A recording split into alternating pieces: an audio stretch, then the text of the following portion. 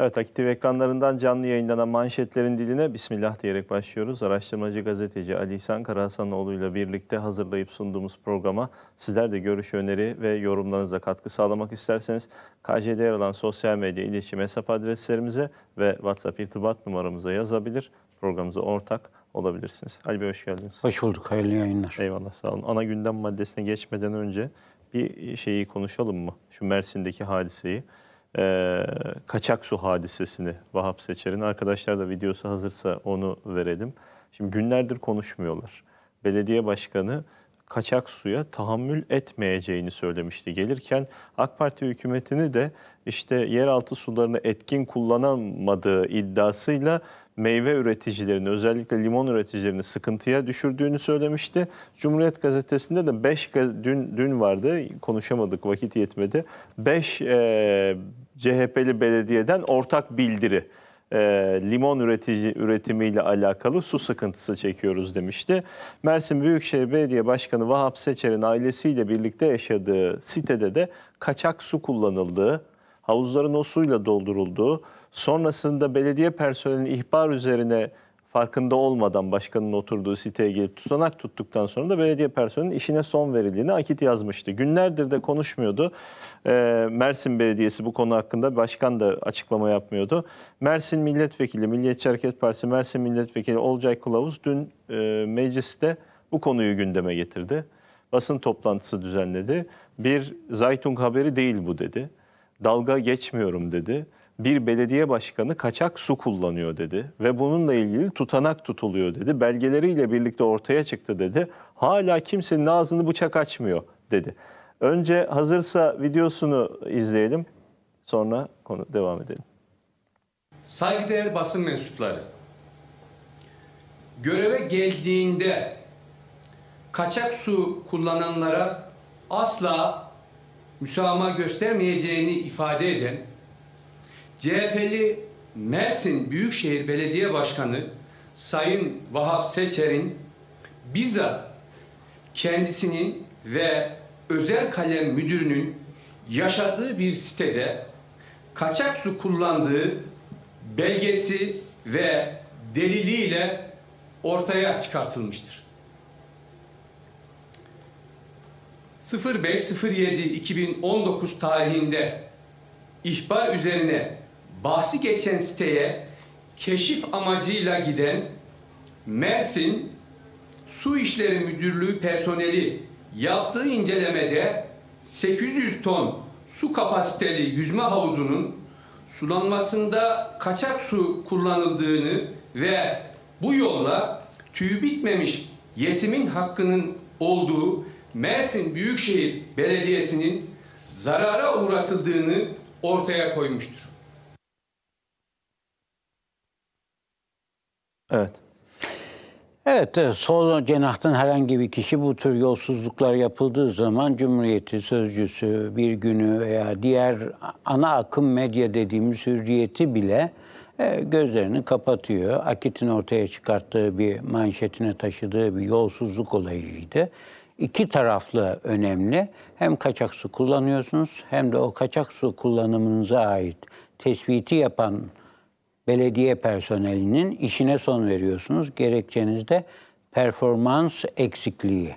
Yani Mersin Belediyesi'nde herkes dört dörtlük çalışıyormuş da bir tane sadece ve sadece o belediye başkanının özel yüzme havuzuna belediyenin suyunu pike eden, orayı kaçak olarak alıp kullanan noktayı o yolsuzluğu tespit eden memur veya belediye çalışanı sanki performans eksikliği gösteriyormuş gibi onun işine son veriliyor.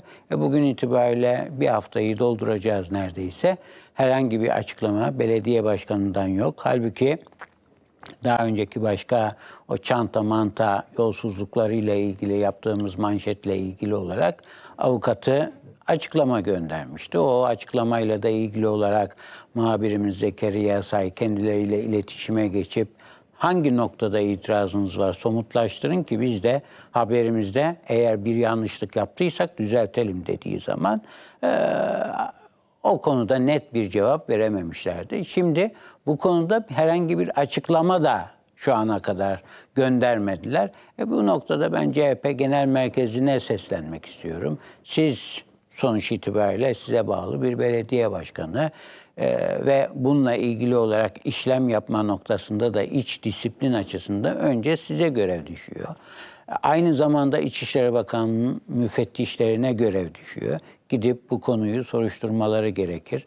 E, Milliyetçi Hareket Partisi'nden bir milletvekili o konuyu mecliste gündeme getiriyor. Bu iş ne oldu diyerekten soruyor, sorguluyor. Biraz önce izledik. Ama maalesef ki maalesef medya organlarına bakıyorsunuz. Fox TV'sinden tutun Halk TV'sine kadar televizyon ekranlarına bakıyorsunuz. Hiçbirisinde herhangi bir şekilde bu konu gündeme getirilmiyor. Ama İsparta'daki elektrik konusunu ki kusura dayalı bir beceriksizlik diyebilirsiniz, hata diyebilirsiniz. Böyle kar İsparta görmemişti diyebilirsiniz. Bir sürü bahane çıkartabilirsiniz ama hiç kimse kasta mahsus bir olay yaşandı diyemez İsparta'da.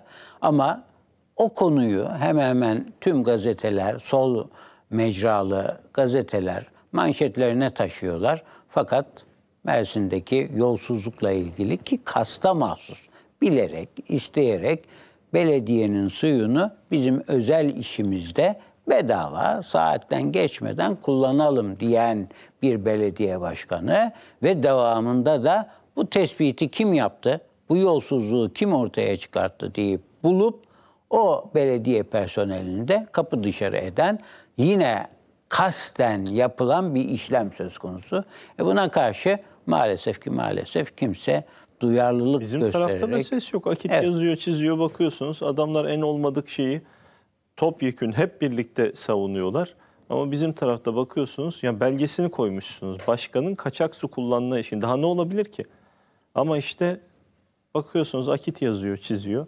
Bir şeyde gördüm geçen gün. A Haber'de bir yayında gördüm. Onun dışında hiçbir yerde de görmüyorsunuz. Oysa bakıyorsunuz şimdi hemen hemen aynı başlıklarla, aynı ifadelerle İsparta valisi niye görevden alındı? Halbuki koronavirüse yakalandığı için görevden alındıysa işte Anadolu'da şu ilde bu ilde de şu vali koronavirüse yakalanmıştı. Onlar görevden alınmamıştı geçici olarak ama bu alındı niye acaba falan diye hemen hemen aynı kalemden çıkmış gibi haberleri Cumhuriyet'te bir günde Sözcü'de görüyorsunuz. Yani bunu bile anlayamayan veyahut da çarpıtarak okuyucusuna aktarmak isteyen bir sol kafayla karşı karşıyayız. İsparta'da 3 gün 4 gün boyunca elektrik kesik. Vali koronavirüse yakalandıysa acilen oradaki bütün işleri yürütecek bir valinin olması gerekir. Bir vali yardımcısıyla falan işlerin yürüyeceği bir şey söz konusu değil. Onun için Ankara hemen demiş ki valinin yerine koronavirüs olduğu dönem için hastalığı atlatana kadar hemen merkezden bir vali atayalım. Oradaki işler çok acil demiş. Vali atamış. Bunu bile eleştiriyorlar. Efendim Şanlıurfa'da şurada burada vali koronavirüs olmuştu. O dönemde Ankara'dan merkez valilerinden birisi görevlendirilmemişti. E her şey tıkır tıkır yürüyorsa, herhangi bir aksaklık yoksa, herhangi bir olumsuz durum söz konusu değilse, vali kor- koronavirüs olduysa vali yardımcısı oradaki işleri yine yürütür. Ama İşlerde sakatlık varsa, işlerde bir aksama varsa, bir kar muhalefeti sebebiyle, hava muhalefeti sebebiyle bir aksaklık oluştuysa, o aksaklık döneminde vali de eğer rahatsızlandıysa acilen tam da devletin devlet olduğunu gösteren cevvallikte hemen anında bir vali atarsınız oraya. O derler, toparlar. Diğer vali de eğer rahatsızlığını atlatmış olursa o tarihten sonra da yine eski vali görevine devam eder. Ama bunu bile siyaset malzemesi yapan sol medya oradaki Mersin'deki o resmen dört dörtlük yolsuzluğu maalesef ki maalesef görmezden gelebiliyorlar. Evet. Şimdi Akit'in manşetiyle başlamış olalım o zaman ana gündeme. 100, 140 gündür milleti uyutuyorlar. Başkanlık sistemine alternatifin ne olduğu hala meçhul. CHP'yi iktidara taşıyabilmek için oluşturulan alt, artı 6 bir Partili Zillet İttifakı'nın başkanlık sistemine alternatif olarak ileri sürdüğü köhnemiş parlamenter sistemle ilgili çalışmalarını 140 gündür millete hiçbir şey çalışmalarla alakalı 140 gündür millete hiçbir şey sunulamadı diyor. Eylül'ün e, 21'inde ilk toplantılarını yapmışlar. Sonra peşinden kronolojik olarak demişler ki şu gün devam ediyoruz demişler. Sonra demişler ki açıklayacağız ama bunun ne olduğunu demişler. İşte başkanların onayını bekliyoruz demişler. Sonra Cumhuriyet Gazetesi'nde bir haber görmüşsünüz. İşte budur bir kısmı demişler. YÖK anlatmışlar. Şu yok böyle olacak, şu şöyle olacak. Birkaç tane ıvır zıvır sıkıştırmışlar. Sonra demişler ki önce başkanlar kendi aralarında bir uzlaşı sağlasınlar. Ondan sonra açıklayacağız demişler. Ama 140 gün geçmiş hala boy sırasına mı, kilo sırasına mı göre oturacağız, oy sırasına mı göre oturacağız onu tartışıyorlar. Alternatif ne sunduklarını başkanlık sistemine o acil eylem planları kapsamında onu söyleyemiyorlar diyor Akit. Yeni Şafak'ta da ittifakta elde var sıfır diyor. O da benzeri bir haber yapmış. Aylardır bekliyorlar ama hiçbir şey yok ortada demiş. İttifak dedikleri e, birlikteliğin kimlerden oluştuğunu bile halkın önüne çıkıp da net olarak ya kardeşim biz şu an itibariyle şu şu şu şu partiler birlikte yol yürüyoruz. Hemen hemen yüzde yetmiş, yüzde seksen oranında konularda mutabıkız ve birlikte seçime gitmeye, meclis seçimi için, milletvekili seçimi için şu şekilde bir ittifak, Cumhurbaşkanlığı seçimi için de şu şekilde bir ittifakı düşündük. Büyük ihtimalle de bu şekilde hayata geçireceğiz diye bir açıklamaları yok. Bir kere HDP başlı başına yüzde sekizlik, yüzde dokuzluk oy potansiyeli olan ve eğer katılmazsa bu Millet İttifakı'na tamamıyla o ittifakın çöp olacağı bir kurucu unsur mahiyetinde bir HDP gerçeğiyle karşı karşıyayız. HDP eğer ittifakın içerisine yer alırsa iyi partilerin yaptıkları açıklamalar çok net son süreçte özellikle Semra Güzel PKK'lı teröristle fotoğrafı çıkan HDP milletvekilinin o görüntüleri sonrasında artık iyi Parti milletvekilleri de eskisine kıyasla söylüyorum. Eskisinde ya görmezden geliyorlardı. Herhangi bir açıklama yapmayarak üstünü örtmeye çalışıyorlardı. Ama artık geldikleri noktada Semra Güzel'in verdiği o fotoğraf, PKK'lı teröristle verdiği fotoğraf sonrasında artık HDP'nin bir yol ayrımına geldiği noktasında İyi Partili milletvekilleri, yöneticileri de hemfikir. Ama ve lakin %8'lik, %9'luk bir oy potansiyeli olan HDP şu an Millet İttifakı'nın içinde mi değil mi? Meclis seçimlerinde birlikte mi hareket edilecek yoksa ayrı ayrı mı hareket edecekler? Cumhurbaşkanlığı seçiminde birlikte mi aday gösterecekler yoksa ayrı ayrı adaylar gösterip ikinci tura oynayıp ikinci turda HDP'nin de desteğini alarak Millet İttifakı'nın adayına mı yönelecekler? Bu konularda sus pus olmuş durumdalar. Ama işte biz Cumhurbaşkanlığı sisteminden geri döneceğiz, parlamenter sisteme geçeceğiz. Peki parlamenter sistemin hangi unsurlarıyla siz hayata geçireceksiniz? Bunu bir izah edin denildiği zaman Bahadır Erdem, İyi Parti'nin genel başkan yardımcısı, yanında Deva Parti'den birisi, yanında Gelecek Partisi'nden birisi. O onunla bakıyor. Aman bir hata yapmayayım diye. Öbürsü öbürsüne bakıyor. Aman bir yanlış, bir pot kırmayayım diyerekten. E böyle birbirlerinden korkan, ne yaptıklarını bilmeyen ama tek bir gayeleri var. Tayyip Erdoğan'ı biz sandıkta yenemiyoruz.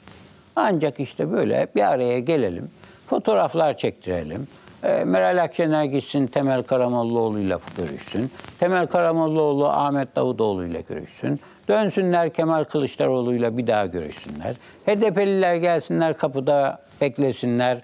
Önce görüşülsün sonra hemen basın toplantısı düzenleneceği sırada arka kapıdan Kemal Kılıçdaroğlu kaçıp benim başka bir görüşmem vardı, randevum vardı deyip birlikte fotoğraf verilmeyerek halkı kandıralım. Halka karşı birlikte bir fotoğraf vermeyelim şeklinde bir tiyatroyu hayata geçirmiş durumdalar. 140 gündür çıkartıp da biz şu şu şu şu konularda Şu ya. mutabıkız. Bizim şeyin planımız, projemiz bu. Yani Başkanlık sistemi kötüdür diyoruz. Alternatifimiz bu. Ve e, burada tabii Temel Karamollaoğlu abin e, bir e, sözü benim aklıma geliyor. Diyordu ki Cumhurbaşkanı adayını erken açıklarsak, erken açıklarız demesi de aslında yani öyle 3 sene 4 sene öncesinde açıklama yapacaklar değil. Kendileri erken seçim istiyorlar aslında. Hemen seçim, hemen seçim diyorlar. Hemen seçim dediklerine göre e, AK Parti de MHP de kabul edecek olsa iki buçuk ay sonra seçim olacak demektir. E sen o zaman AK Parti ve MHP'nin Büyük Birlik Partisi'nin Cumhur İttifakı'nın adayı belli. Tayyip Erdoğan. Sizin Millet İttifakı olarak adayınız kim denildiği zaman adayımızı açıklamayalım. Yoksa paçavraya çevirirler diyor. E şimdi aynı mantığı büyük ihtimalle parlamenter sistem için de düşünüyor olmalılar ki biz açıklarsak şimdi seçimlerden 5 ay önce, 6 ay önce, 1 sene önce açıklarsak paçavraya çevirirler bu bizim açıklayacağımız parlamenter sistem teorisini. Yoksa elde bir şey yok mu? Yani ben şöyle söyleyeyim size. Bunların başkanlık sisteminden vazgeçme gibi bir niyetleri de yok. Emin olun devam edecekler. Yeter ki kendi adayları... Ya sayıları yetmez zaten. Yani mümkün değil. Yani kazaen diyelim ki şu oldu, bu oldu, öngöremediğimiz eee, gelişmeler yaşandı ve diyelim ki Cumhurbaşkanlığı ikinci tura kaldı. Diyelim ki hadi varsayalım ki kazandılar. E, meclisteki çoğunluğu yani şu an ölümüne mu- muhalefet partilerini destekleyen kamuoyu araştırma şirketleri bile kıl payı diyorlar. Yüzde 48, yüzde 49. Onların dediğini aktarıyorum. Benim kanaatim o yönde değil ama onların iddiasını varsaysak bile HDP'nin o Millet İttifakı içerisinde yer aldığını da düşünüyor olsak bile her şeyi olumsuz olarak Cumhur İttifakı'nın aleyhine düşünüyorum. Yüzde 48'e yüzde 51 diyorlar. Millet İttifakı kazanacak. HDP'nin de içinde olduğu. Yani bir yandan Kandil'in bir yandan da Asena, milliyetçi, ülkücü geçinen insanların ittifakının bir arada oy kullanacağını iddia edenlerin tezine göre yüzde bir, yüzde bir buçukla Cumhurbaşkanlığı seçimini kazanacaklar. Peki meclisi ne yapacaksınız? Meclisi de demek ki benzer şekilde 600 milletvekili var. 300, 310 milletvekili kazanacaksınız demektir. E O peki, tablo sonuçlanırsa yani her, her şeyi her şeyi olumsuz onların lehine düşünüyorum. E, 310 milletvekiliyle siz referanduma bile götüremiyorsunuz ki anayasa değişikliğini. Nasıl yapacaksınız da Cumhurbaşkanlığı sistemini kaldıracaksınız. E o zaman da yapacakları klasik numara. E ne yapalım? Millet bize bu kadar yetki verdi. Biz de Cumhurbaşkanlığı sistemiyle böyle gideriz. E kazayana işte ateist birisi gelirse Cumhurbaşkanı olarak Ahmet Davutoğlu ne yapalım? millet bize bu kadar yetki verdi. Biz de bir şey yapamıyoruz. Bir kere de seçmiştik, belirlemiştik Cumhurbaşkanı adayını. Bu ismin arkasında buluşulur, birleşilir diye düşünmüştük. Ama hata olmuş demek ki. E bu dakikadan sonra da yapılacak bir şey yok deyip kenara çekilecektir. Ben geçen hafta e, izledim Ahmet Davutoğlu'nu. Aylardır halbuki e, CHP'ye hep kefalet göstererek, kefil olarak şöyle bir söylem geliştiriyordu. Ya helalleşiyorlar ve ve vesaire vesaire. Dolayısıyla niye biz bir fırsat tanımıyoruz CHP'ye diyorlardı. E şimdi yavaş yavaş ben o zulmü yaşamış insanım. 28 Şubat'ta şu şu şu şu zulümleri yaşadım. Benim eşim de başörtü yasağının mağduru olmuştur. Ben gidip de imtihanda işte onun yanında bulunmak istedim vesaire diye o tarihleri, o zulümleri hatırlatan ifadeler kullandı. Acaba diyorum bir soru işareti koyuyorum. Masada oturduğu yer biraz arkalarda kaldığı için bakın Allah rızası için vesaire diyemiyorum. Veyahut da bu insanların, bu ülkede yaşayan dindar insanların temel hak ve özgürlüklerini garanti altına almak için diyemiyorum.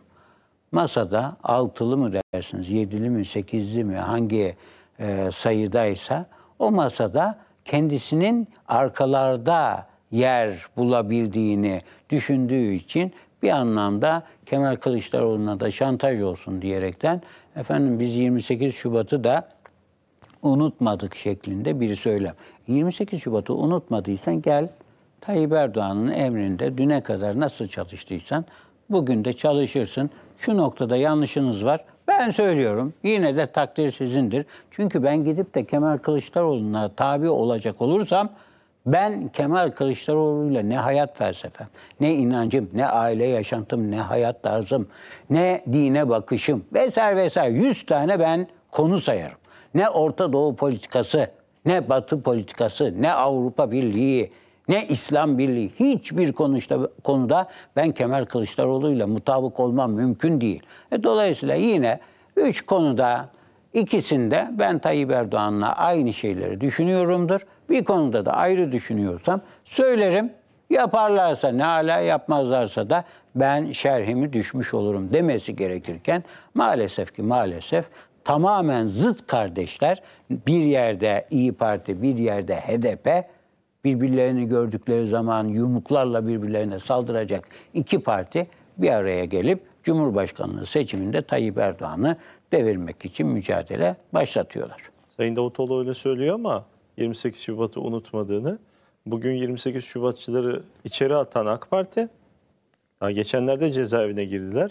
Yani üzerinden bir yıl bile geçmedi. 28 teknik Şubat olarak. darbecilerini darbecilerini içeri atan AK Parti, 28 Şubat darbecileri için ağlayan CHP, şimdi o CHP ile hani şöyle bir ortağına dönüp baksa ya siz ne düşünüyorsunuz bize bu zulmü yapan adamlarla ilgili? Adam diyecek ki ne arıyorlar onlar cezaevinde? Bir an önce çıkartılmalılar diyeceği adamlarla şimdi ittifak yapıyor. öyle bir noktaya geldi ki sadece CHP demiyor onu. Artık Temel Karamollaoğlu da ya bu yaştaki adamlar falan 28 Şubat'tan sorumlu tutulup da yıllar sonra cezaevine koymanın da bir alemi yoktur mealinde. Fethullah Gülen de benzeri bir yaşlı. Maalesef. Ne diyeceğiz maalesef, şimdi? Maalesef, maalesef bu açıklamaları sadece CHP'liler değil, Saadet Partisi'nin genel başkanı bile bu mealde artık açıklama yapar hale geldi. Yani biz bekliyoruz ki CHP temel hak ve özgürlüklere daha fazla saygılı bir parti haline bürünsün. Ama maalesef ki maalesef Saadet Partisi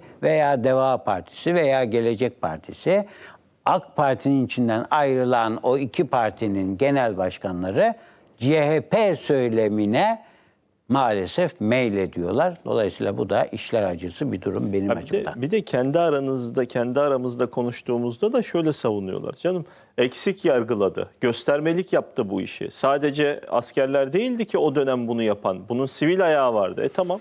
Doğru. Sivil ayağını gündeme Doğru. Onu, onu yapın. Daha fazlasını yapın. Biz de sizi alkışlayalım. Tayyip Erdoğan da yeterince cesur değilmiş diyelim. Ama bunların birlikte yol yürüdükleri yani Ahmet Davutoğlu'nun, Ali Babacan'ın, Temel Karamollaoğlu'nun birlikte yol yürüdüğü adamlar daha iki gün önce Yeni Çağ Gazetesi'nde Orhan Uğuroğlu Sincan'da tankları Tabii. yürüten komutanla görüştüm deyip bu komutanı FETÖ'cü hakimler dinlemediler. FETÖ'cü yargıtay üyeleri dinlemedi diye ahlaksızca bugünkü yargıtayı da FETÖ'cü üyelerden oluşuyormuş gibi ahlaksızca bir imada da bulundu. Bir tane Allah'ın kulu da çıkıp demedi ki sen ne diyorsun ya? Eski yargıtay için söylersin bunu. 2016 öncesindeki Yargıtay için söylersin. Ama 15 Temmuz hain darbe girişiminden sonra FETÖ'cüler %95 oranında, %96 oranında Yargıtay'dan da yerel mahkemelerden de ta- tasfiye edilmiştir. Sen 28 Şubat darbecilerini mahkum eden, o cezaları onaylayan bugünkü Yargıtay üyelerini nasıl FETÖ'cü olmakla ima edersin, suçlarsın, itham edersin diye ne Yargıtay'dan bir açıklama çıktı, ne Adalet Bakanlığı'ndan bir açıklama çıktı. Çeyreğinin çeyreğini biz yapsak dava açıyorlar ya. Maalesef bir tehditler de savuruyorlar. Bakanlar falan şunlar bunlar telefon açıp efendim sizde şu haber var. AK Parti iktidarı için söylüyorum. AK Parti iktidarında bir bakan çıkıyor. Alo, e, sizin iş sayfanızda 8. sayfanızda şöyle bir haber varmış. Savcılarımız falan rahatsız. E, rahatsız olduysa ne yapayım? Açıklamalarını yollasınlar. Biz Koç'un bile yolladığı açıklamayı her gün aleyhine konuştuğumuz trilyonlarca liralık dava bize açan, onlarca mahkememiz olan Koç'un yolladığı açıklamaya bakıyoruz. Ya onlar da kendi açılarından olaya bir bakış açısı getirmişler deyip açıklamalarını kullanıyoruz. Dolayısıyla biz herhangi bir lokal noktada bir yanlışlık varsa onu da dile getirdiysek muhatabı da eğer diyorsa ki hayır sizin dediğiniz gibi değil o olay arka planda şu şu şu noktalarda vardır diyorsa biz o açıklamayı da kullanırız. Ama gelin görün ki işte o Orhan Uğuroğlu'nun ki Cem Uzan'ın işçisidir. O sıfatını da ben hatırlatayım. Star gazetesinde Cem Uzan'ın işçisi olarak Hortumcunun. hortumcunun şu an 18 yıl hapis cezasına mahkum olduğu için yurt dışında kaçak yaşayan ve bu milletin sırtına 18 milyar dolarlık borcu takıp kaçan o Cem Uzan'ın işçisi olan Uğur, Orhan Uğuroğlu bir gün çıkıp da Cem Uzan aleyhine tek kelime aleyhinde bir yazı yazamayan Orhan Uğuroğlu kim bilir belki hala hediyeler falan geliyordur.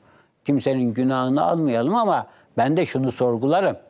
Sen Sincan'da yürüyen tanklar için bile yıllar sonra her şey artık ayan beyan ortadayken, Yargıtay kararı önümüzde dururken, bu resmen bir darbedir deyip mahkumiyet kararı verilmişken, Çetin Doğanlar cezaevine konulmuşken, Çevik Biller cezaevine konulmuşken, sen çıkıp da Yeni Çağ gazetesinde milliyetçi geçinen, ülkücü geçinen ama bu ülkedeki milliyetçi, ülkücü olan subaylara namaz kılamazsınız diye tehditler savuran Çevik Biller, Çetin Doğanları sen savunup Sincan'da tanklar yürüdü ama orada bir tatbikat vardı. Onun için sanki Sincan'da tanklar 30 yılda 40 yılda bir kere yürümüş de Görüştüğü oradan şey geçmesi Titri neymiş? Yani o dönemki o işte oradaki bölüğün komutanıymış. Ben beni hiç dinlemedi. FETÖ'cü hakimler diyor. İnsaf et ya, vicdansızlık etmeyin ya. Yargıtay'daki üyelerin tamamı FETÖ'cüleri mahkum eden adamlar ya. Eksik soruşturma yürütmüşler. O tankları yürüten arkadaşı da E tabii onu onu da alma ama işte onu aldıkları tarihte de vay efendim işte Çetin Doğan da öyle dedi zaten. Ben dedi işte tam 28 Şubat'ın olduğu dönemlerde emeklilik hazırlıkları yapıyordum. Beni ne diye aldınız ki buraya vesaire diyerekten kendisini savundu. Bu arkadaş da şimdi nasıl olsa dava bitti. Kesinleşti. Bu dakikadan sonra avukatlardan da bilgi almıştır o büyük ihtimalle. Nasıl olsa karar kesinleştiğine göre benim hakkımda da dava açılmadığına göre e bir de işte biraz da zaman aşımına falan da yaklaşıyoruz. Dolayısıyla bu dakikadan sonra artık beni kimse e, almaz düşüncesiyle. Ya ben yürüttüm onları. E sen yürüttün peki. Niye yürüttün? E bir tatbikat vardı. O tatbikat için yürüttük. Yani Yargıtay'ın bu darbedir dediği şeye oradaki bir komutan veya albay o tarih itibariyle yok efendim darbe değil. E darbe değilse burada e, görüntülerini gösterdik. Sincan'da tanklar yürüdü. Hükümete son uyarı. O gün itibariyle o komutan, o albay çıkıp da sen ne yazıyorsun ya Cumhuriyet Gazetesi manyak mısın, deli misin? Ne uyarısı? Ben yürüttüm o tankları. O tankların arkasında hiçbir şekilde meşru hükümete yönelik hiçbir ders, hiçbir ima, hiçbir mesaj falan filan yoktu. Biz tatbikata gidiyorduk. Dedin mi? Demedin. Ha, o gün güzel. Yan cebime koy. Ne güzel işte. Medya oradan pompalıyor. Tehdidi savuruyor. Erbakan Hoca boncuk boncuk terledi diyorsun. Çok güzel şak şak yapıyorsun. Ertuğrul Özkök'e telefon ediyorsun. Helal olsun sana diyorsun. Arkasından hesap vermeye gelince sıra bu sefer yok canım biz ya darbe marbe haşa ya. Biz Erbakan Hoca'yı severiz ya. Erbakan Hoca millidir. Dolayısıyla biz ona karşı darbe marbe yapar mıyız? E ne oldu da peki indi? Ne oldu da bir yıl dayanamadı da Erbakan Hoca ayrıldığı zaman buyurun Tansu Çiller'le bizim bir anlaşmamız vardı. Tansu Çiller'in başbakanlığını da burada meclisin çoğunluğu olan milletvekillerinin imzasıyla biz size deklare ediyoruz, kabul ediyoruz. Ona hükümet kurma görevi verilsin diye Süleyman Demirel'e liste verildiği zaman Süleyman Demirel bir ayak oyunuyla ne yaptı? Meclis çoğunluğunu beni ilgilendirmez dedi. Ben bakarım duruma göre. Siz zaten istifa etmişsiniz. İstifa ettiğinize göre yürütemiyoruz. Yürütemiyoruz demiyorlar. Diyorlar ki yer değişimi yapıyoruz. Yok efendim ben yer değişimini kabul etmem. Hop şapkadan tavşanı çıkartıyor Mesut Yılmaz'a yani üçüncü partiye. Birinci parti eğer bakın esasında anayasal usule baktığınız zaman Erbakan Hoca başbakanlıktan istifa ettiği zaman tekrar hükümet kurma görevini aslında Erbakan'a vermesi lazım. Birinci parti sensin demesi lazım. Tekrar bir dene. İkinci olarak ikinci partiye vermesi lazım. Ondan sonra Mesut Yılmaz'a vermesi gerekirdi. Ama maalesef bu oyunların hepsini yaptılar. Şimdi de çıkmışlar darbe marbe yok diyorlar. O adamlar Orhan Uğuroğlu önemli değil. Yeni Çağ Gazetesi önemli değil. Ama İyi Parti demek Yeni Çağ Gazetesi demektir. İyi Parti demek o Millet İttifakı'nın olmazsa olmazı olan HDP ne kadar gerekliyse %8, %9 oyuyla İyi Parti de %7, %8 oyuyla yine Millet İttifakı'nın içerisindeki olmazsa olmaz bir partidir. E şimdi 28 Şubat darbecilerine böyle aklama paklama yapan İyi Partililerin olduğu bir konjonktürde Ahmet Davutoğlu çıkıyor. E işte 28 Şubat'ta biz şu zulmüye. Ne zulmü ya? Adam söylüyor darbe marbe olmadı diyor. Bunlar zaten gericiydi, çağ dışı yobazlardı. Biz de onların haklarından geldik diyorlar. Yani özel sohbetlerinde bunu söylüyorlar. Kaldı ki Sadece 28 Şubat sürecinde bunu söylemediler. Belki biraz sonra gündeme gelir. O Samsun'daki heykel mevzusu üzerinden bir CHP'li belediye başkanı da bir karikatür üzerinden dindar insanlara nasıl hakaret ettiğini hala bugün itibariyle de tekrar tekrar görüyoruz. Tekrar tekrar yaşıyoruz. Allah onlara fırsat vermesin diyorum. Evet, reklama gidelim. Döndükten sonra devam edeceğiz. Yerden devam ediyoruz. Kararın birinci sayfası, manşeti. Tüm çabam ilkelerde ittifak için demiş. Davutoğlu 6 muhalefet partisinin işbirliği konusunda sürdürdüğü görüşmeleri seçim sonrasını da hesaba katan güçlendirilmiş bir ittifak mekanizması arayışı diye tanımladı.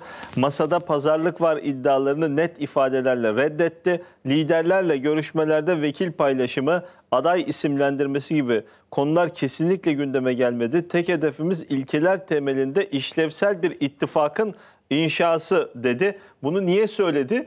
Dün Cumhuriyet Gazetesi'nde ya sen yüzde birsin, birsin dediler. Hatta belki o bile değilsin. Sen nasıl kalkarsın da, mealen söylüyorum bu şeyden, sen nasıl kalkarsın da, isim vermeyen CHP'li vekiller söylüyordu. Nasıl kalkarsın da ittifakta kimin nerede oturacağına, nasıl duracağına, ittifakın özünün ne olacağına, ittifakına yeni bir isim konulmasına ilişkin nasıl açıklama yaparsın, yerini bil dediler mealen. Bugün Davutoğlu da vallahi ben böyle bir şey demedim manasında konuşuyor aslında. Ama mealen falan değil. Resmen öyle demişler. Arşiv sayfamıza da koyduk biz onu. Hemen şuradan göstereyim. Belki iç sayfayı arkadaşlar göstermekte zorluk çekebilirler.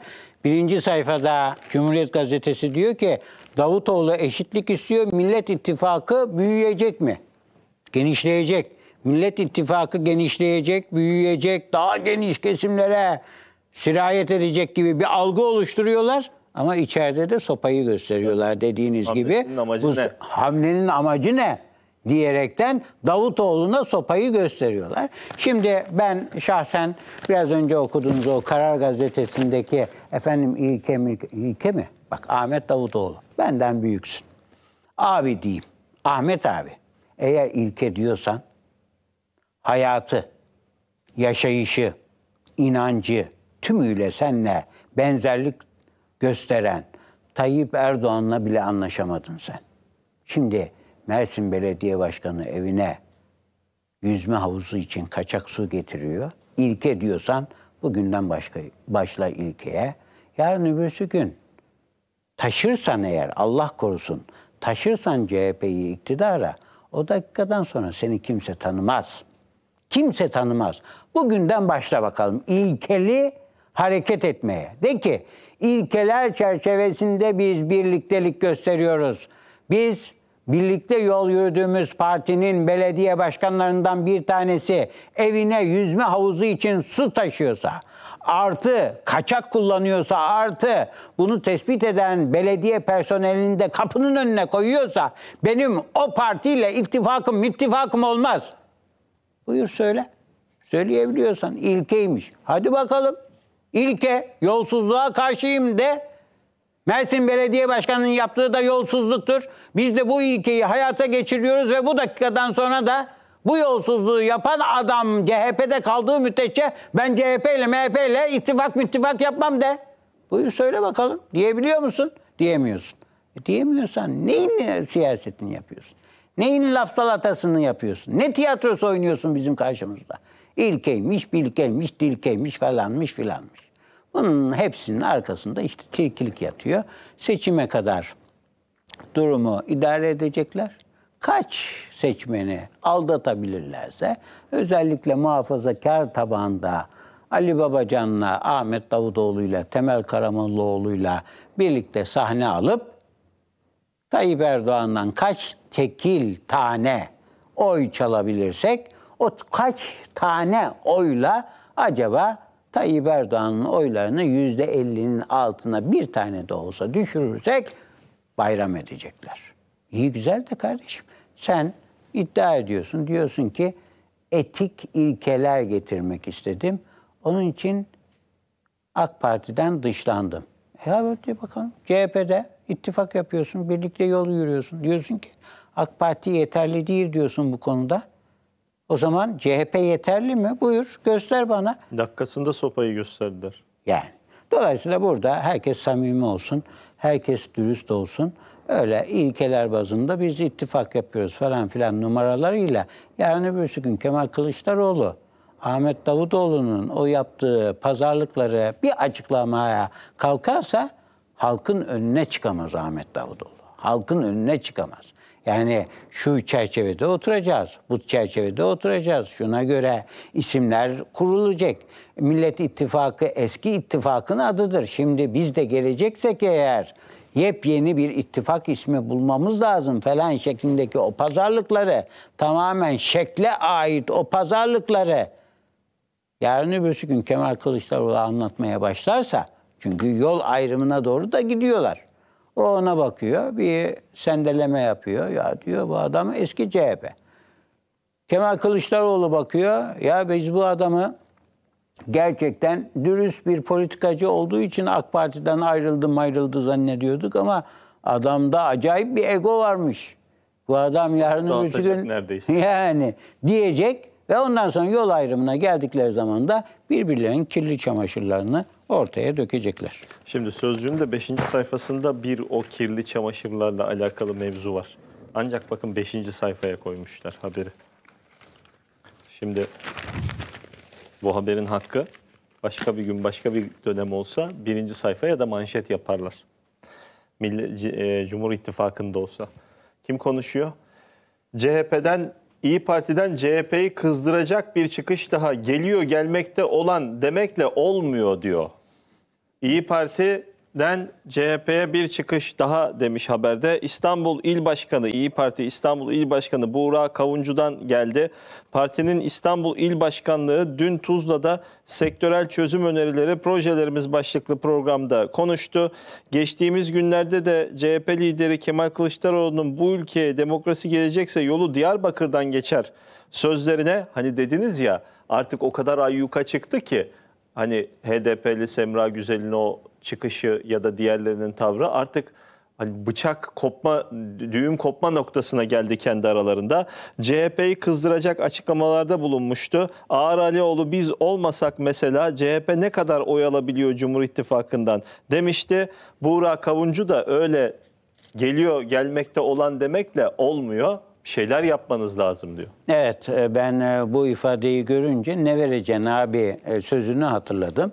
CHP'li e, Mansur Yavaş'ın belediye başkanlığı döneminde CHP eski milletvekili Sinan Aygün'ün gökdeleni için oturup CHP'li bir meclis üyeleri eski milletvekilleriyle pazarlık yapıyorlar ve 25 milyon 30 milyon verilmesini istiyorlar. O gökdelenin meşru bir şekle çevrilmesi için ve o sırada da Sinan Aygün hayır ben vermem o miktar parayı dediği zaman da ne vereceksin abi diyerekten bir muhabbet gelişiyor.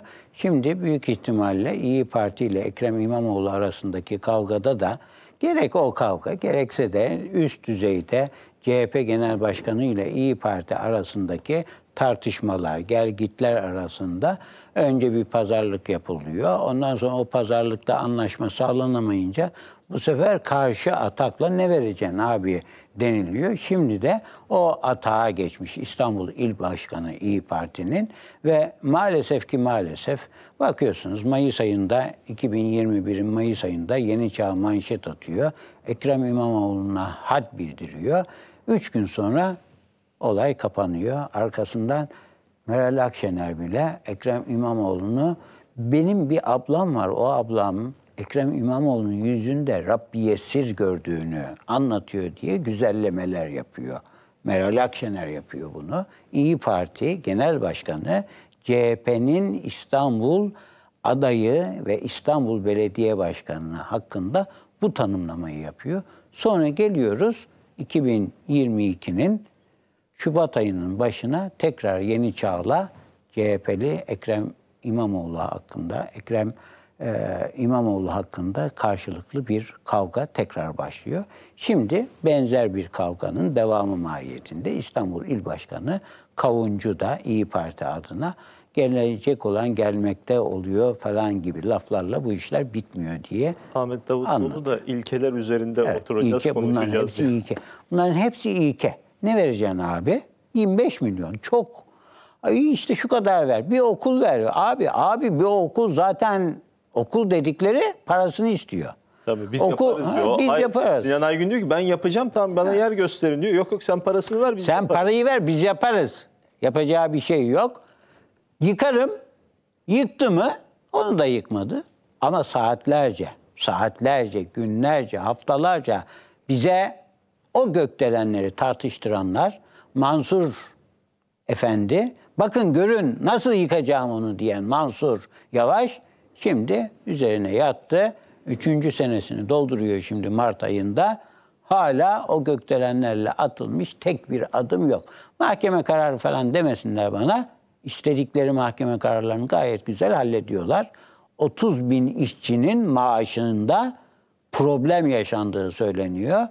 Dün itibariyle Yeni Akit.com.tr'de de haberi vardı.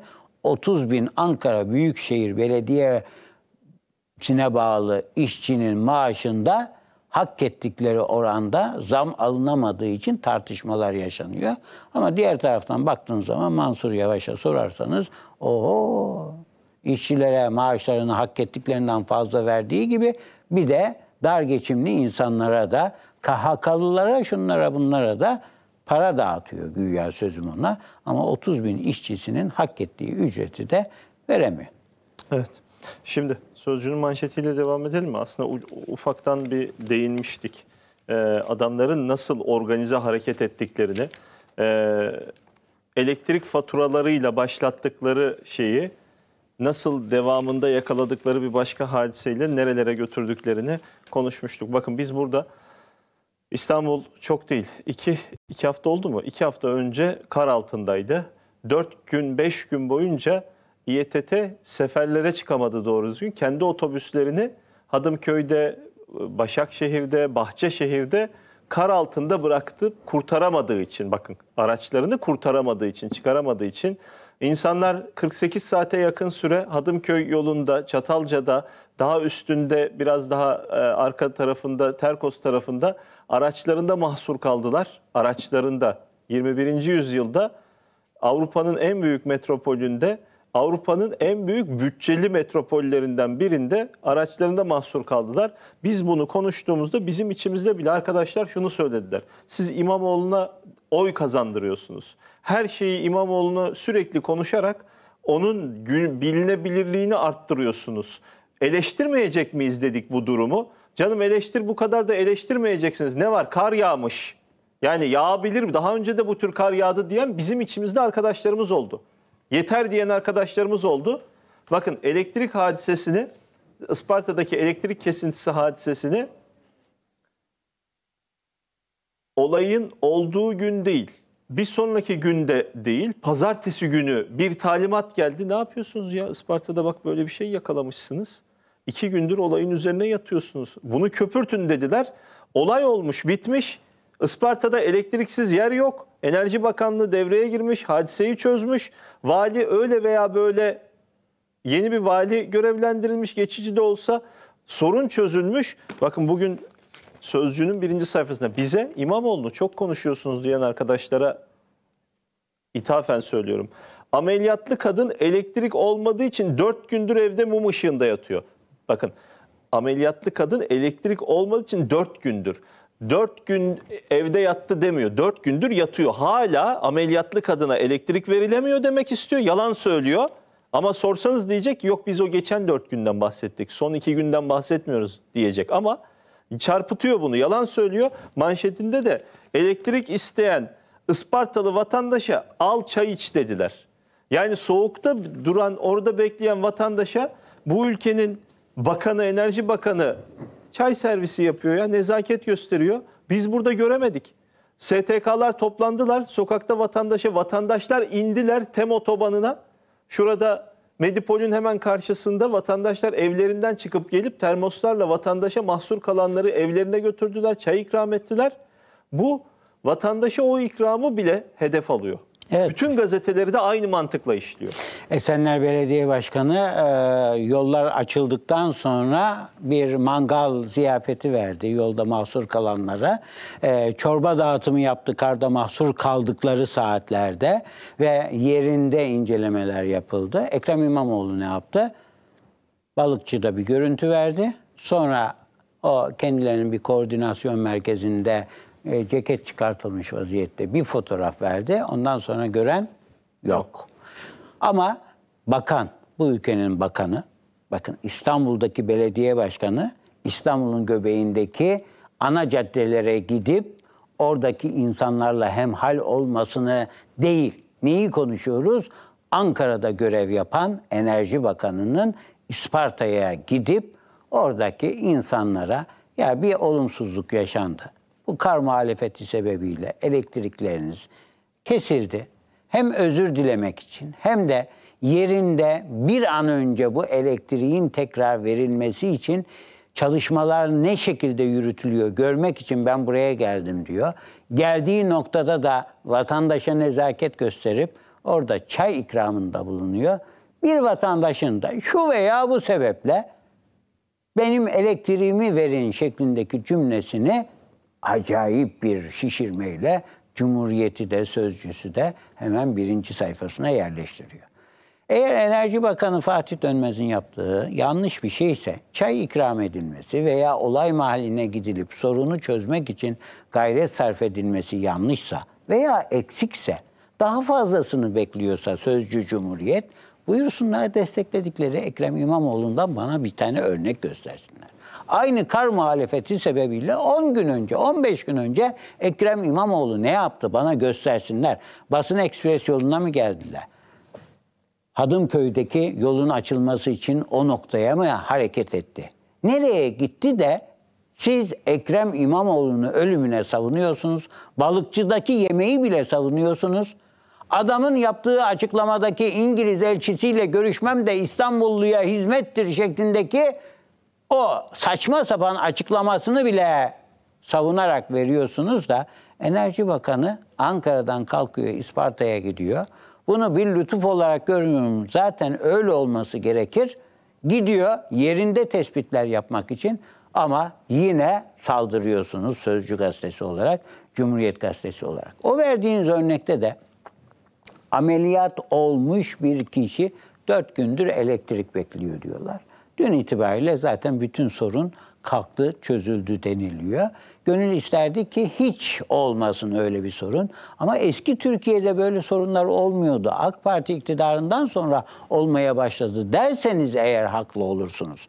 Yoksa ben hatırlıyorum 3 saat, 4 saat, 5 saat, 6 saat elektrik kesintilerini hatırlıyorum. Ama İstanbul'dayım ben ve kar muhalefeti sonrasında özellikle de İran'ın doğalgazı kestim kesiyorum şeklindeki muhabbetleri sonrasında bize de telefonlar geldi. Gazeteyi erken basın şöyle yapın böyle yapın elektrik her an gidebilir hatta programlı kesintiler başlıyor denildi.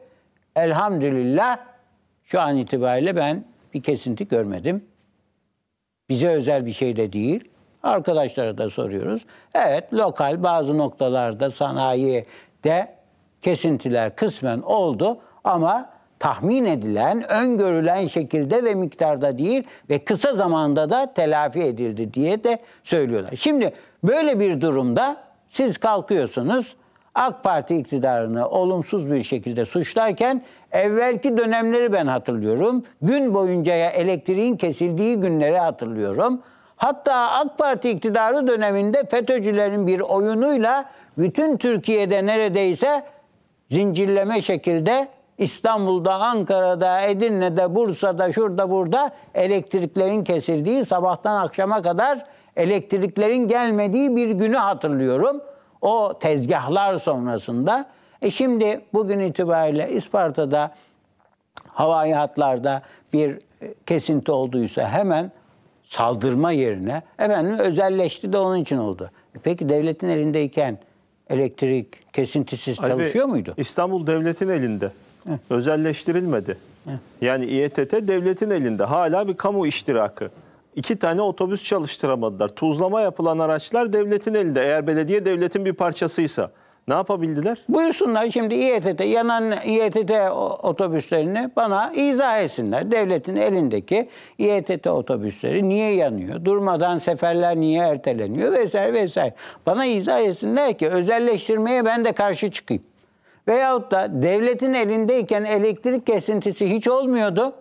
Hem de nüfusumuz o zaman 84 değil, 60 milyondu, 55 milyondu. Ama elektrik kesintimiz yoktu. Şimdi elektrik kesintileri başladı. Hatta İsparta iki gün boyunca elektrik de görmedi diye bir eleştiri yaparlarsa ben o zaman onlara kulak veririm. Ama siz evvelki dönemlerde günlerce elektrikler kesilirken, devletin elindeyken, şimdi bir günlüğüne olduğunda ve Enerji Bakanlığı da büyük ihtimalle o dağıtım şirketine de bir ceza uygulayacaktır. Nasıl ki Kuzey Marmara otoyolunda o bakımlar yeterince yapılmadığı için, yol açık tutulamadığı için Ceza 65 milyonun üzerinde bir cezayı o şirkete kesildi Ulaştırma Bakanlığı tarafından. İstanbul'da kesilmedi ama. Biz kime keseceğiz? Yani İstanbul'da şu İBB'nin sorumluluk alanında olan İBB Genel e, İBB Büyükşehir Belediye Başkanı'nın da balıkçıda olduğu sırada İstanbul bu keşmekeşi yaşarken o yolların kapalı olmasının faturasını kesemedik kimseye.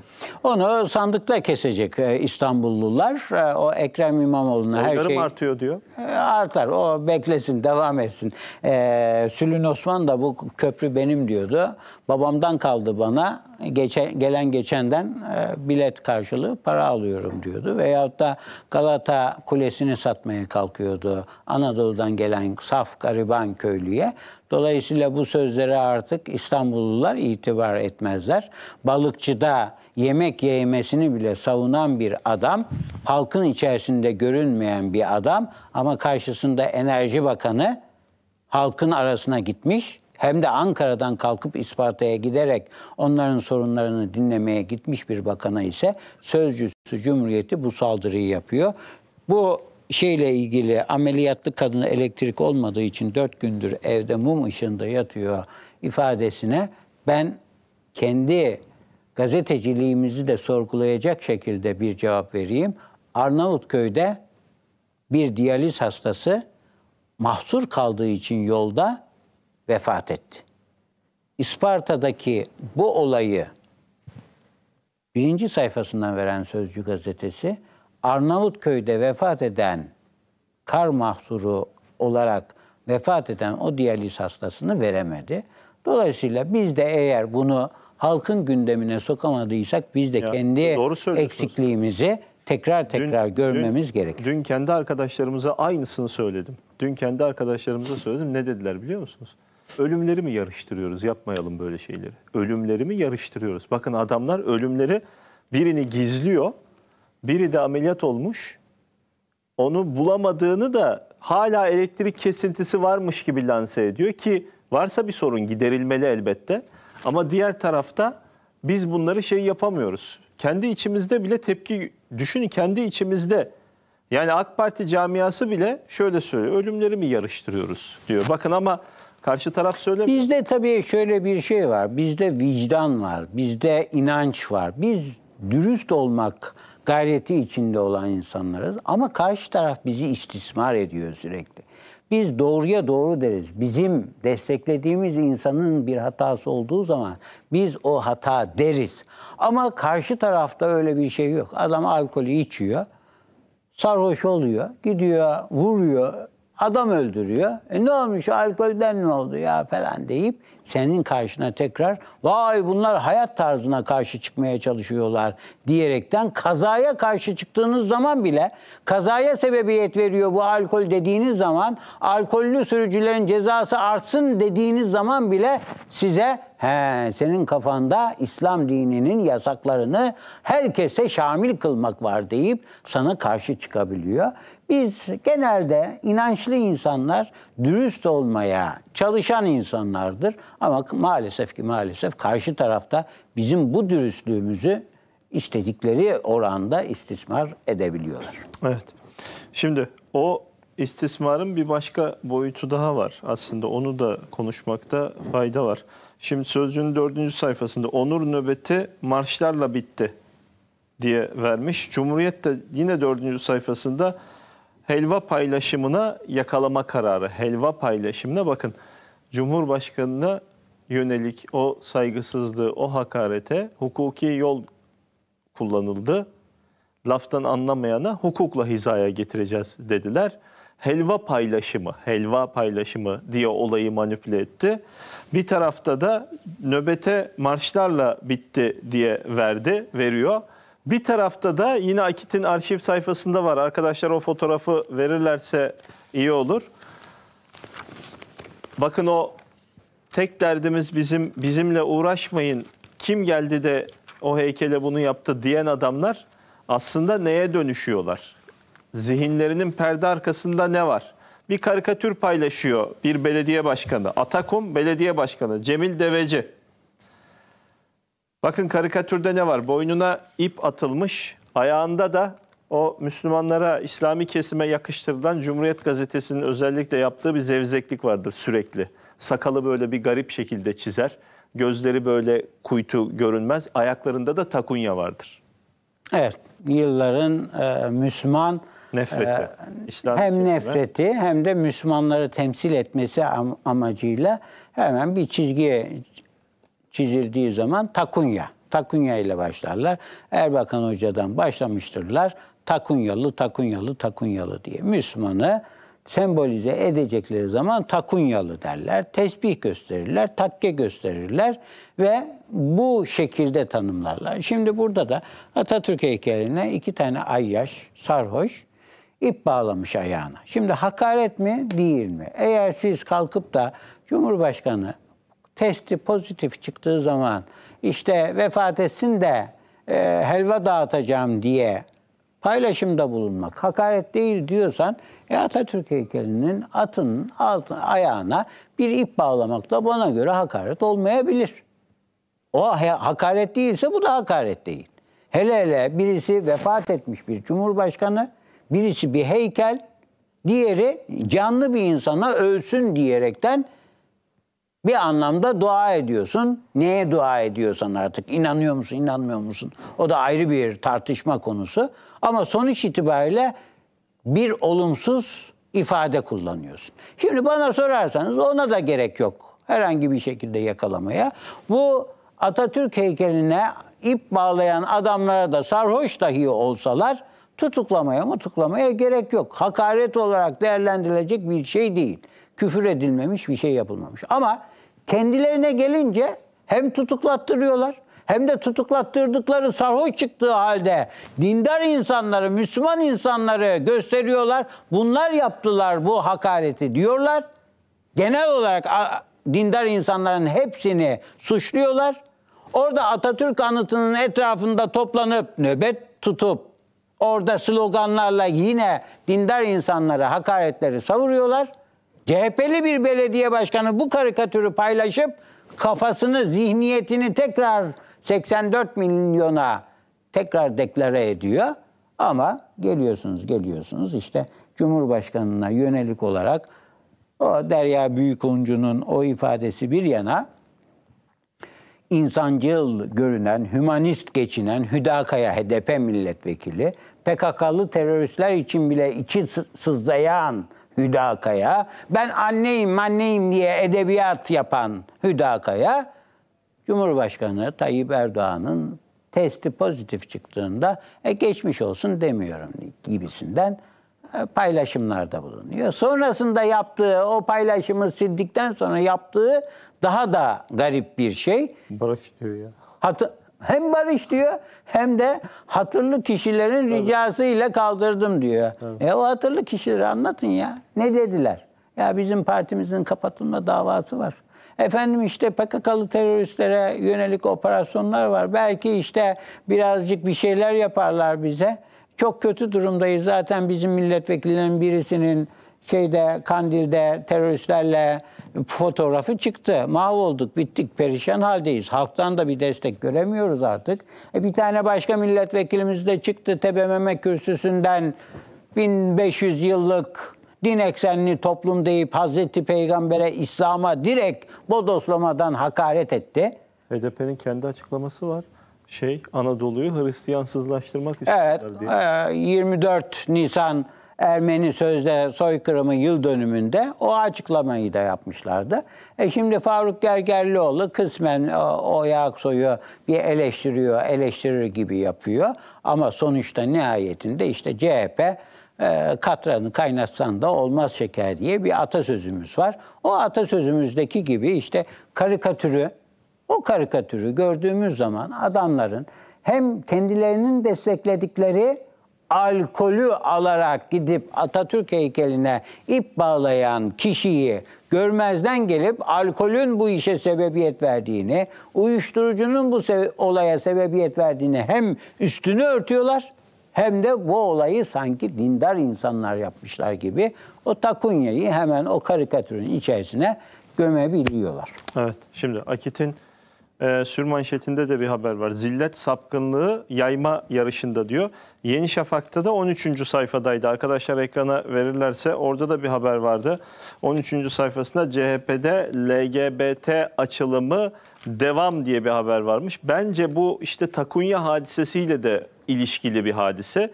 Bir taraftan CHP tiniyetini orada ortaya koyuyor. Asıl nefret duydukları şeyin İslam ve Müslümanlar olduğunu orada ortaya koyuyor. Diğer taraftan da bence bu aslında bir şey vesilesi. Diğer taraftan da dün açıklama yapıyor Faik Öztrak e, CHP sözcüsü. Diyor ki CHP tüm yurttaşlarımızın insan hak ve özgürlüklerinin tam ve eşit fırsatta yararlanmalarını her türlü ayrımcılığın önlenmesinde en önemli hedeflerinden biri görüyor. İlgili birimlerimiz gerekli çalışmaları yürütüyor diyor. LGBT sorusu sorulunca önceki gün Akit'in e, göbek haberiydi. O Kılıçdaroğlu'nun cinsel yönelimler ifadesine karşı verdikleri destek. Şimdi ben de Yeni Şafak'la Akit'i gösteriyorum. Şu iki gazetenin manşetini ve iç sayfadaki haberini gösteriyorum. O Takunyalı hadisesiyle birlikte e, Saadet Partisi ne düşünüyor? E, Deva Partisi hadi muhafazakar olmadığını söyledi artık genel başkanı. Ne düşünüyor demeyeceğim. Ama e, Gelecek Partisi ne düşünüyor? İyi Parti ne düşünüyor? Adamlar çünkü geldiğimizde cinsel yönelimlere kararlılıkla diyor. Yani LGBT kararlılıkla destek vereceğiz diyor. Evet bu konuda İstanbul Sözleşmesi'ne imza atarak AK Parti iktidarı da bir yanlış yapmıştı. Daha sonrasında Cumhurbaşkanlığı kararnamesiyle o sözleşmeden de çıkılmış durumda. Ee, geçtiğimiz yıl neredeyse bir yılı da dolduracağız o İstanbul Sözleşmesi'nden çıkılmasının üzerinden.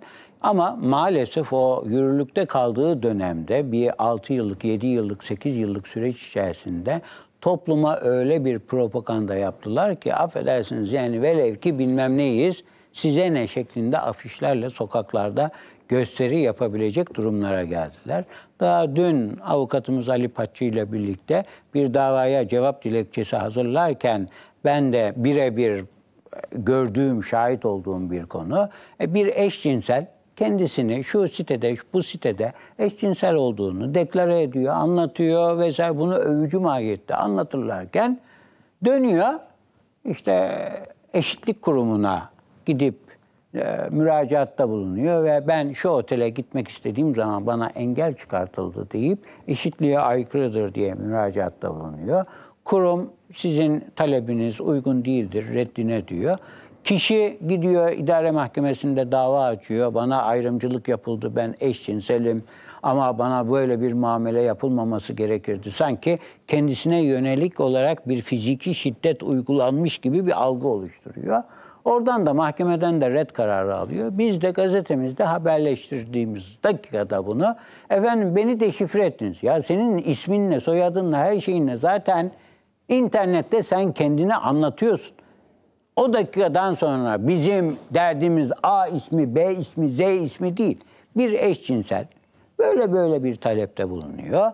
Eşitlik Kurumu bu talebi reddediyor. İdare Mahkemesi'ne gidiliyor. O da reddine e, karar veriyor. Biz de bunu haberleştiriyoruz. Ama buna rağmen kalkıp davalar açılamıyor. Şimdi bu kadar cesur, bu kadar toplumun içerisinde bir bazı yerlerden de finanse edilerek davalar açılıyor, müracaatlar yapılıyor, gazetelere tekrar tekrar davalar açılıyor, tazminat davaları açılıyor. İstediği miktar da on binlerce liralık manevi tazminat talep ediyor. Deşifre edildim diye. Ya efendim deşifre Yasa edildi. dışı bir şey mi yapıyor mu? Yani kendisi beyan ediyor, kendisi gidiyor eşitlik kurumuna kendisini ifşa ediyor. Hayır, Boş verdim onlara Bir de açıklanamayacak iğrenç bir şey yaptığını mı söylüyor? gibi bir çelişki içerisinde yüzüyorlar. Ha, dersiniz ki hakkımı, dava açma hakkımı, müracaat hakkımı kullanıyorum, ismimle yapmak zorundayım diyebilirsiniz. E peki şu internet sitesinde, bu internet sitesinde, şimdi ismini vermek istemiyorum. O internet sitesinde sen olayı övücü mahiyette anlatıyorsun. Bu gençleri bir anlamda zehirliyorsun. Zehirledikten sonra kendin bir anlamda haksız bir talepte bulunduğun mahkeme kararıyla tescillendiği Akit gazetesinde yazılınca hop zıplıyor. Efendim beni deşifre etti diyerekten dava açıp tekrar Akit'i susturmaya çalışıyor. Ve maalesef ki maalesef sosyal medya ağlarında Facebook'ta özellikle Facebook'ta LGBT aleyhine bir düşünce açıklaması yapın. Bittiniz. Bittiniz, mahvoldunuz. Hemen anında uygulama başlıyor. Hani Cumhurbaşkanına helva melva muhabbeti yapanlar var ya, bir tane de şu LGBT'lerle ilgili benzer bir muhabbet yapsınlar da bir göreyim sosyal medyada ne hale dönüyorlar. Ama oradaki o sansürü göstermeyenler bir anlamda gündemden dışarıya çıkartanlar öbür taraftan efendim Tayyip Erdoğan için helva yapacak diyerekten bir kişiye tutuklama mı çıkar, yakalama kararı mı çıkar diye maalesef ki maalesef bir algı operasyonunu yürütüyorlar. Bir de onu şey söylüyorlar. Ee, dün dündü yanlış hatırlamıyorsam ya da önceki gün olabilir Cumhuriyet'te. Ee, Cumhurbaşkanına hakaret e, suçlamasıyla korku toplumu üretmek istiyor. Cumhuriyet haber yapmış. Korku toplumu üretilmek isteniyor. İstiyorlar ki kimse Erdoğan'la ilgili ağzını açmasın.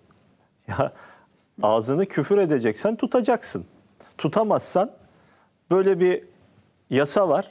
Hatta sadece Cumhurbaşkanı'na özgü bir yasa da değil. Türk Ceza Kanunu'nda başkalarına yönelik de sıradan Ya vatandaşa yönelik de hakaret empati edemezsin. yapsınlar ya. Atatürk'ün heykelinin atının bilmem altına bir ip bağlandı diye. Şimdi bunu da bir değerlendirsinler. Korku toplumu oluşturulmak isteniyor diyerekten bir bu açıyla bir baksınlar kendi kendilerini bir öz eleştiriye tabi tutsunlar. Sonuçta iki tane sarhoş gitmiş Atatürk heykelinin ayağına ip bağlamış. Evet oradaki heykele zarar vermekten açarsın soruşturmayı ama dört gün boyunca o heykelin etrafında dönmek nedir? Nöbet tutmak nedir? Ondan sonra onun üzerinden dindar insanlara küfretmek nedir? Müslüman insanlara hakaret etmek nedir? Takunyayla karikatürler çizip boynuna urganlar geçirmek nedir? Atın teptiği bir insan haline getirmek nedir? Bunları da bir anlatın korku toplumunu bir de bu açıdan bir değerlendirin de biz de diyelim ki ya pozitif bir değerlendirme yapıyor karşımızdaki insanlar diyebilelim. Evet diyelim ama işte olmuyor. Şimdi kararın birinci sayfasında bir haber vardı. Neydi? Ya inşaat ne diyor? İnşaata paydos ya kapıya mühür Süleymaniye. Evet e, hala o eski İyi. fotoğrafı kullanmaya devam ediyorlar. Bugünkü fotoğrafı çeksinler Karar Gazetesi'ndekiler. Biz de yanlış yapıyorsak biz de özür dileyelim ama e, İlim Yayma Cemiyeti açıklamasını yaptı. Dedi ki bu fotoğraf eski bir fotoğraftır. Oradaki kalıpların yüksekliği sebebiyle öyle bir görüntüyü haksız yere kullanılıyor sosyal medyada birçok kişi. Nezaketen Karar Gazetesi'nin de ismini belirtmemişlerdi. Ama ben açık açık belirtiyorum. Mehmet Ocaktan'ı, Yusuf Ziya Cömert'i, Ahmet Taşgetiren'i eğer gerçekten o Karar Gazetesi'nde yazmaya devam ediyorsanız siz, o gazeteyi çıkartmaya devam ediyorsanız İlim Yayma Cemiyeti'nin bu ülkede nelere hizmet ettiğini sizler çok iyi biliyorsunuz. O yazdığınız, o bastığınız fotoğraf yalandır, sahtekarlıktır. O fotoğraf doğru değildir diyorum. O tarih eski bir tarihtir diyorum. Bugünkü fotoğraf değildir diyorum. Bugünkü fotoğrafta o kat yoktur diyorum. Ama buna rağmen hala devam ediyorlarsa kendi üzerlerine gelen sıfatı da kabulleniyor demektir. Bakın şu fotoğraftaki bu e, inşaat halindeki yerde Böyle- kalıpların yüksekliği. Yani aslında şu bir kat, görünen bir kat aslında kesinlikle yok. Sadece kalıpları kesmeden kullanmak için yapılmış. Yani tam da israf israf diyorlar ya. Tasarruflu olarak malzemenin kullanılması amacıyla yapılmış bir şeyi kötü niyetli insanlar büyük ihtimalle o tarihte çekmişler ve beklemişler ki böyle bir servis edilsin. Hemen Karar Gazetesi de koşa koşa bunun üzerine atlamış. Ama ben muhabirlerimize de söylemiş olayım. Aynı açıdan gidilip bu fotoğrafın bir daha çekilip bu fotoğrafın doğru olmadığını da kamuoyuna bizim açıklamamız lazım. Evet bir son şeyi de konuşmuş olalım. Yeni nafaka planı diye bir haber var Hürriyet'te. Ya gazeteyle insan nasıl tutacağını şaşırıyor. Abuk sabuk fotoğraflar yüzünden diyeyim. Buradan da bir mesaj vermiş olalım. İşte yeni nafaka planı yılan hikayesine döneni ben ekliyorum ama yılan hikayesine dönen nafakayla alakalı eee, yeni Adalet Bakanımız Ada, Bekir Bozdağ, tecrübeli Adalet Bakanımız diyelim aslında. Geçmiş dönemlerde de çünkü Adalet Bakanıydı.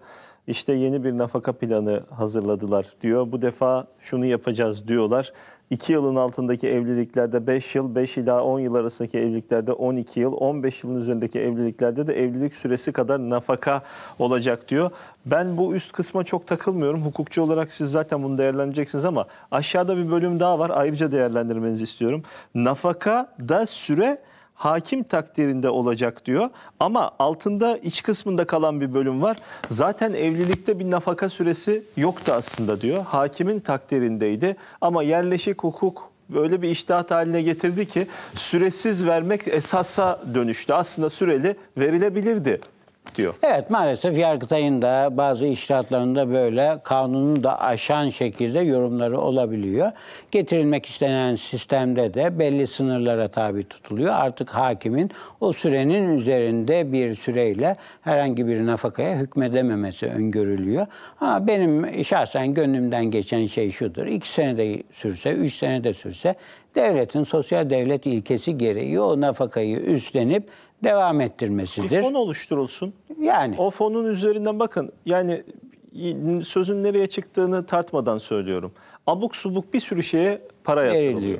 Bir AKM binası yapıldı şuraya.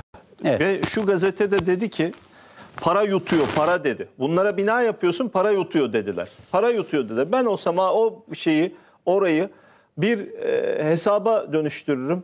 O hesap üzerinden de nafaka zedelerin parasını öderim. Yani o gaz- hem yiyorlar hem de küfrediyorlar. Hem bale yapıyorlar. Bale yapmaları için 2 milyar lira veriliyor. Hem de baleye yok imama var diyerekten manşet atıyorlar.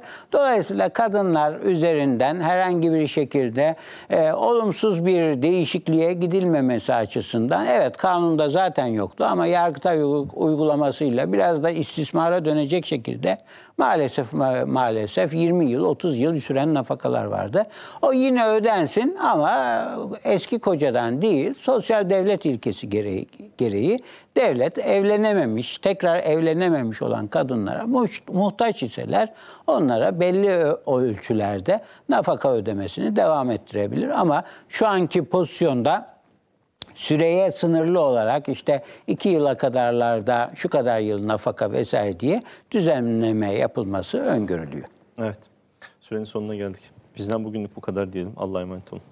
Buluşmak ümidiyle inşallah. Pardon.